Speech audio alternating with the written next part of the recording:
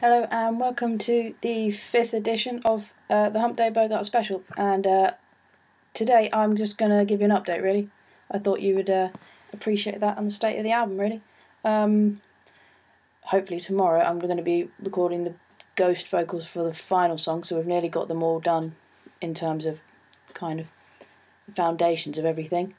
Um, and ghost vocals are just so you can follow along with the lyrics and make everything easier. Um, and the, for that final song, I think that's the one that's based on Key Largo.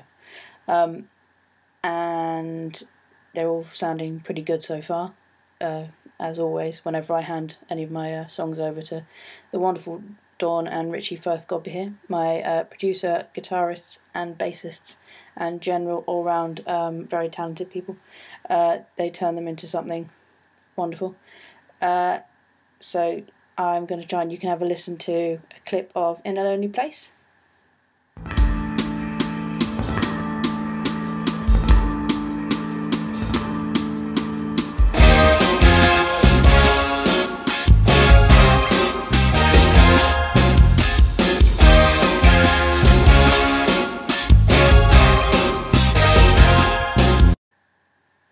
and also you can have a listen to a clip of classic romance.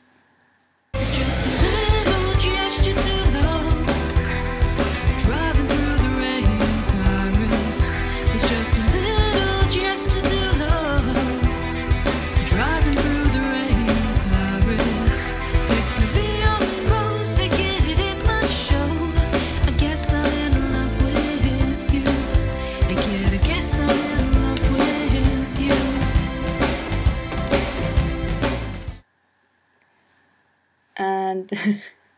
I am literally just pointing in there and pausing because I know I'm going to have to add that in. Um, so once I've got those ghost vocals done, they send them back and forth to me, as we're not allowed to meet up yet, obviously. Um, and then we kind of work on them that way. It's been a weird process because don't, we don't normally normally we get in a studio and kind of uh, work them all out or get together with a band and work them all before we record them. Um, so this is an interesting new process, which is working right actually. Quite like it. Um, so once we've got those done, we're going to send them off to a drummer, um, who there might be quite a good drummer doing it. Um, I'm just waiting to see if they can do it, so I won't mention that just yet. Um, and then we'll add bits on top of that once the drums are done. Um, and the saxophone is being done by uh, George Chalmers. They should be with me pretty soon. And then I can do the final vocals and try and do my harmonies on it, as uh, some of the producers that worked with me before. I am still learning on doing harmonies and getting um, things, uh, notes in the right place, but uh, we do get it right eventually. Um, so then those will be done. So that is the state of the actual song so far. It's very exciting. And hopefully the first single should be with you in June along with the music video. And I've been talking to my animator, uh, and that's very exciting too. Um, we should be starting it this month, and we're working on it. Should be uh, an animation, but using a paper cutout, which uh, I think sounds pretty cool. Um, and uh, I'm going to try and keep you updated on all that, and maybe give you little um, insights into how that's going. So uh, keep an update on this and on my social media you'll be able to see little bits. Um, and then I'm attempting to do my album artwork. My process normally um, is a little bit haphazard. Either I get an idea straight in my head and I just uh, put it down, um, or I have to. Uh, I've written down here I doodling, pondering, and experimenting, and then accident. So that's normally how uh, the artwork works out. It's also how my GCSE and A level art worked out. Works well for GCSE, not for A level, because they like you to show what you've been doing. So, um, Mrs. Mallet, my old art teacher, if you see this, I am trying to plan this out. I have an idea for these. I always love um, the posters for all these films, all the 40s, 50s films, all the Bogies films.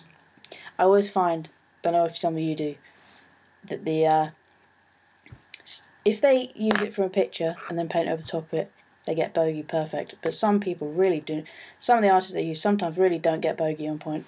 I'm like, how can you not?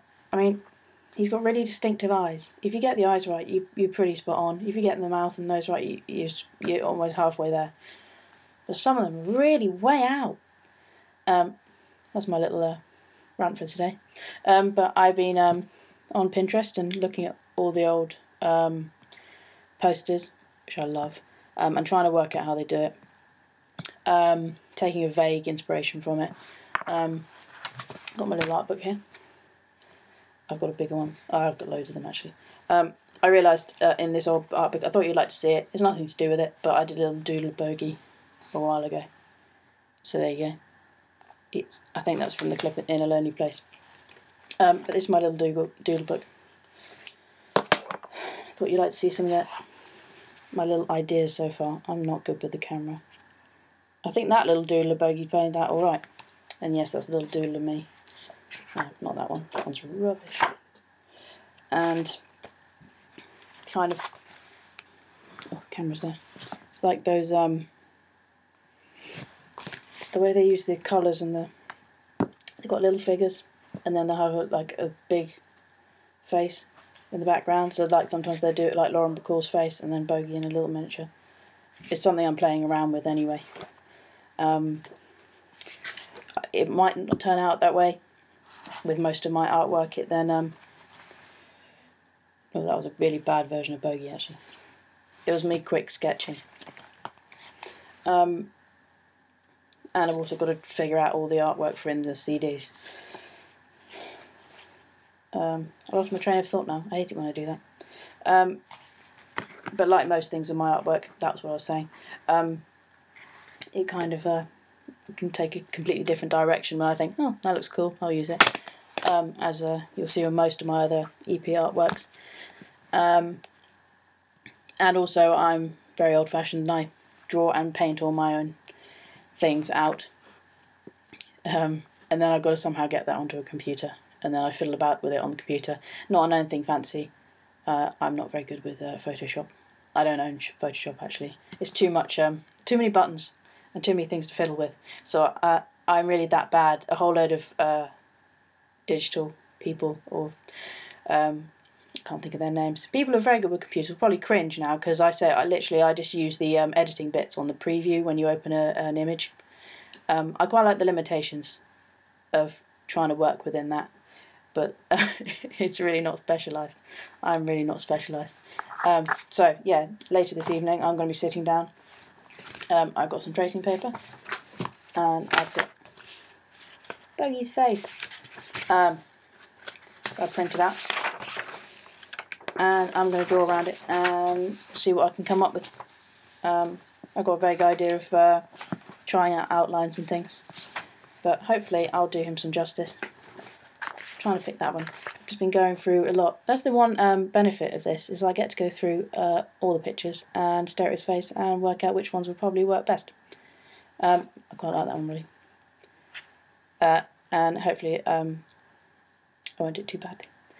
Uh, this is the short one today. Um, next week I'm talking about the third song, third one, not good with maths, um, which will be the Maltese Falcon inspired one, which is called Sam. And that's my little, I've still got that in there. And we'll talk about that. Uh, if there's anything you want me to channel on about, or anything um, you uh, would like mentioned, uh, give me a shout and hope you're all having a nice time in the lovely weather.